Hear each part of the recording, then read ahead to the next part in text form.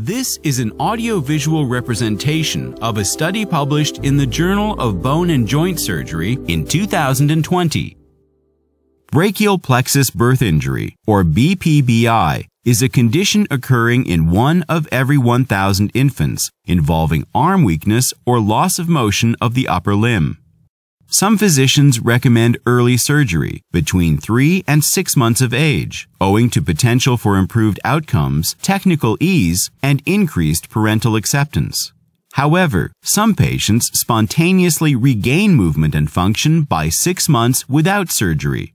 Therefore, other physicians advocate delaying surgery until after 6 months of age. Nevertheless, the effect of surgery timing on clinical outcomes remains unclear.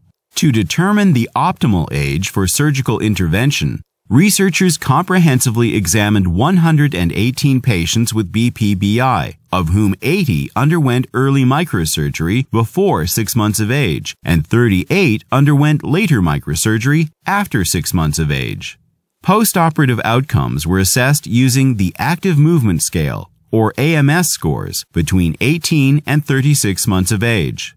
It was found that infants who underwent early microsurgery at a mean age of 4.2 months had more severe injuries at the baseline than those who underwent late microsurgery at a mean age of 10.7 months. Consequently, after early microsurgery, infants had lower postoperative AMS scores than those who underwent late microsurgery. However, when accounting for the severity of injury, the outcomes did not differ significantly between the two groups. These findings suggest that early BPBI nerve surgery does not lead to better postoperative motor outcomes compared to late surgery.